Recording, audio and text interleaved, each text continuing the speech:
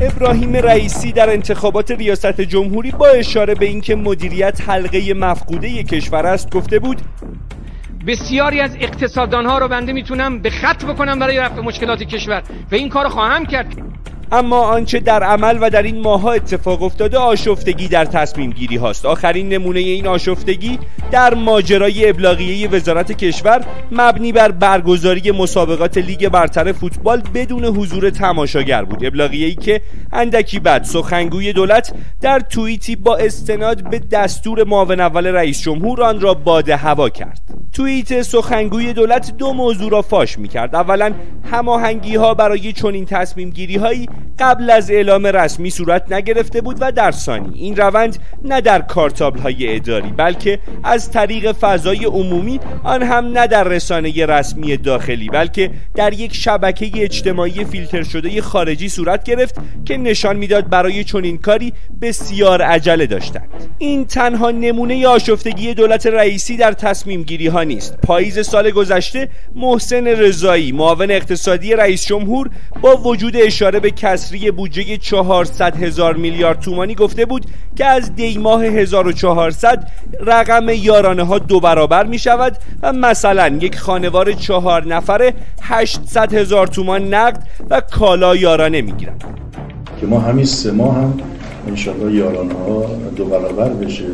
یعنی فکر می‌کنم اگر خوب اجرا بشه هر خانواده چهار نفره 800 هزار تومان کالا و پول دریافت خواهد داشت.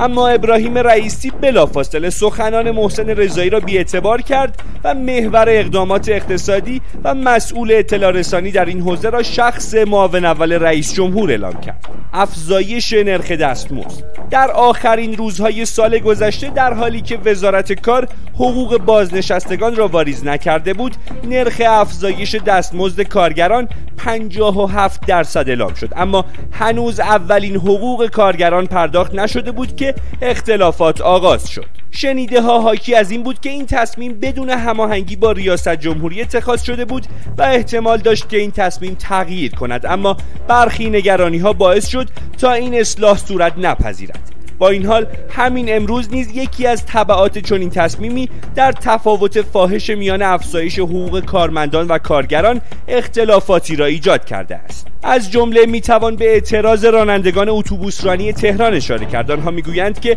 اگر جزء جامعه کارگری به حساب میآیند پس باید حقوقهایشان 57 درصد افزایش پیدا کند نه 10 درصد.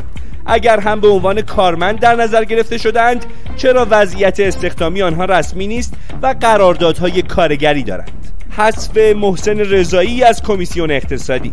چنان که گفته شد به نظر می رسد محسن رضایی با دیگر ارکان اقتصادی دولت هماهنگ نیست. پاییز سال 1400 نامه ای با امضای رضایی منتشر شد که خبر از تغییر نحوه اختصاص سهمیه بنزین در کیش و قش می‌داد. این خبر بلافاصله با واکنش سخنگوی دولت مواجه شد که این خبر را تکذیب کرد و گفت از نامه معاون اقتصادی دولت سوء برداشت شده. فروردین ماه 1401 نیز خبر حذف محسن رضایی و سولت مرتضوی از کمیسیون اقتصادی دولت منتشر شد.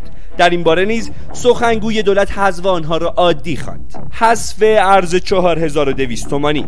آخرین آشفتگی دولت در تصمیم گیری به موضوع حذف ارز 4200 تومانی باز میگردد. دولت ابتدا آرد مصارف صنعتی را بدون هیچ گونه توضیح و تبیین رسانه‌ای گران کرد که به تبع آن قیمت نان باگت و ماکارونی سر به فلک کشید. سه روز بعد رئیس جمهور در برنامه تلویزیونی حاضر شد و خبر از حذف ارز ترجیحی داد.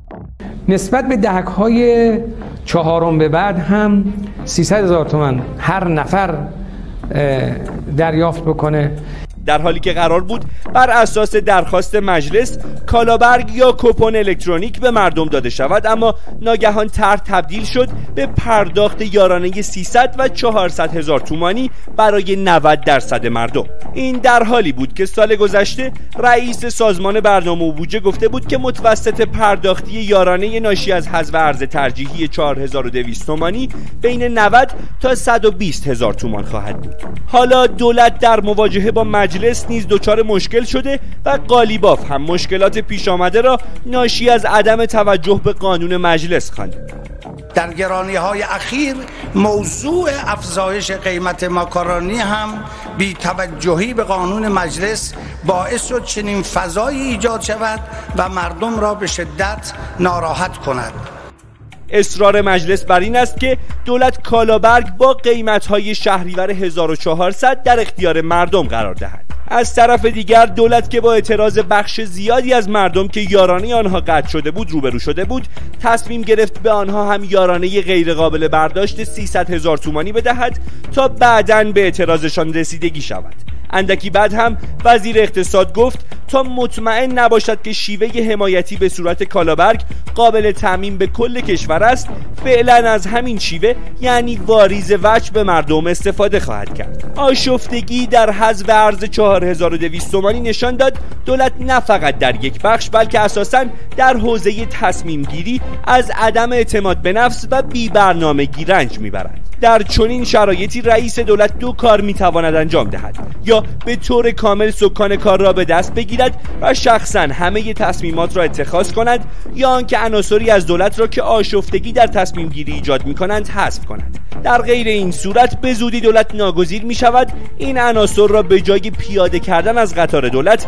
با جراحی پرسر و صدا از خود جدا کند.